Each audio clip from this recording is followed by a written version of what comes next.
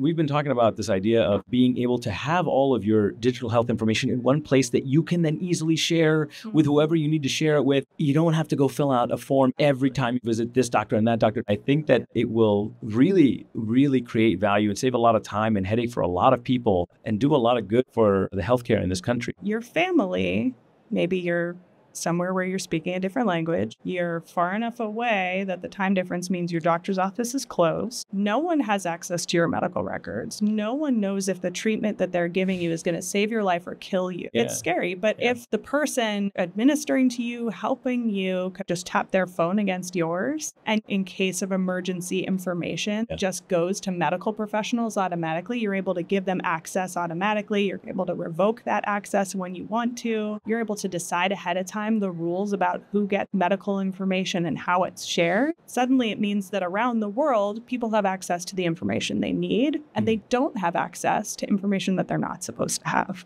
So there's a power that comes from that for the end user, for EMTs, for healthcare systems, where they just know the information that they're supposed to know when they need to know it.